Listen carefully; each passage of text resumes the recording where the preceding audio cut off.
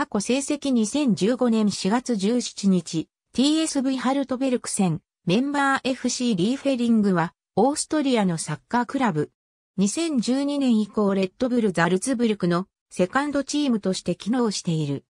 2011年12月にレッドブルザルツブルクが協定を結んだ USK アニフを2012年6月にレッドブルザルツブルクのセカンドチームとし、名称も FC リーフェリングに変えて成立した。セカンドチームであるため、レッドブルザルツブルクと同リーグには所属できない。若手選手の育成を中心に行っているため、平均年齢は非常に若く20歳程度となっている。2011年12月にレッドブルザルツブルクは、レギオナルリーガ東に所属する FC パッシング、同リーガ西に所属する USK アニフトの協定を調印した。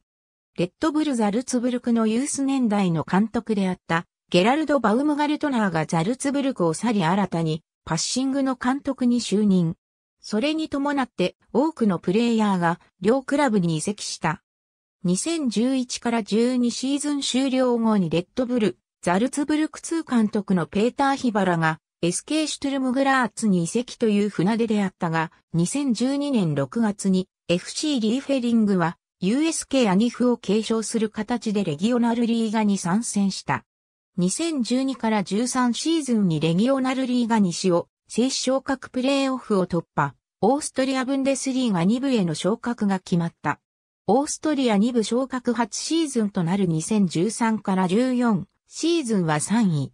2015年6月にペーテル・ツァイドラーがトップチームの監督に就任したためトーマス・レッチュが監督に就任した。ありがとうございます。